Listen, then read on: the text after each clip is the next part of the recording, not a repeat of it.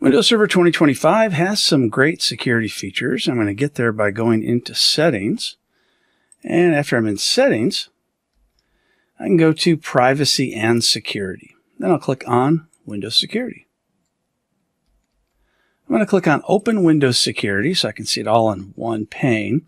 And here we see at the top, the home, you see the virus and threat protection. So this is not turned on, which is really interesting. Now, it may be turned on in the manufactured version, but it's not turned on on this preview version. So I'll go ahead and turn that on and I can see that it's all set up.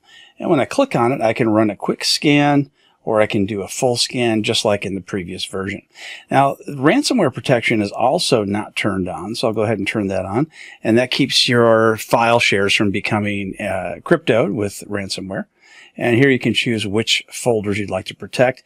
These folders are protected by default when it's turned on, but you can also click add a protected folder and you're going to browse to that location, choose the folder that you want. I'll choose the users folder just as an example, or you could also choose to add new folders. I'm going to go back, go back again.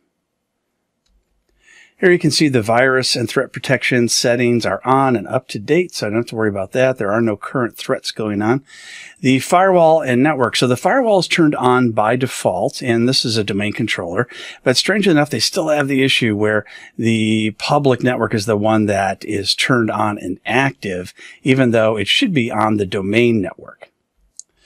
But you can go to the local group policy and make that change permanent there. I'll go ahead and show that in an upcoming video.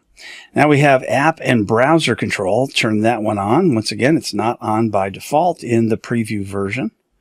And here we have reputation-based protection settings. So once I enabled that, it turned all that on and we can block any potentially unwanted apps. And it also turns on smart screen that helps by checking unrecognized applications as well as something you might be downloading from the web in a browser. And I'll click on settings for device security. And here we have the memory integrity, which is going to protect us from insertions of malicious code. So I'll go ahead and turn that on, add that protection. Now it does require that the server become restarted.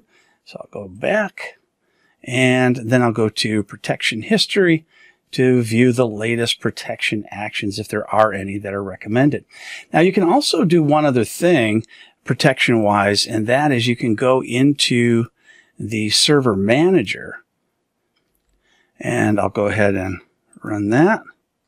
And inside Server Manager, it's a great idea to go to the local server and then scroll down to the best practices analyzer.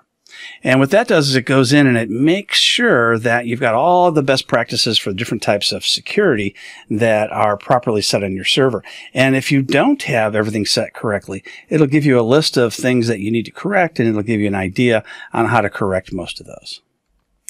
And here you can see that the file services role service is not installed. By default, that's an interesting new thing is that on Windows Server 2025, at least in the preview version, the file services role is not installed by default. So you need to go into add roles and features and install that.